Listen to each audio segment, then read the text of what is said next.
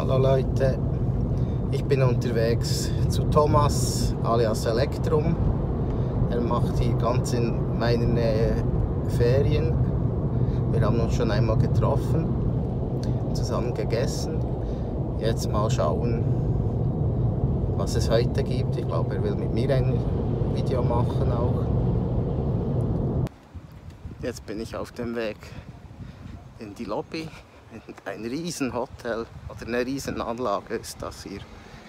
Naja, Thomas hat dann mit mir so ein langes und wie ich finde interessantes äh, Video-Interview oder sagen wir Gesprächsrunde gemacht, dass ich dann äh, gar keine große Lust mehr hatte, selbst was zu filmen. Äh, von dem her hm, seht das als kleinen Teaser auf sein Video, das er wahrscheinlich dann hochlädt, wenn er wieder zu Hause ist. Und dann sage ich auch schon wieder Tschüss, bis zum nächsten Mal.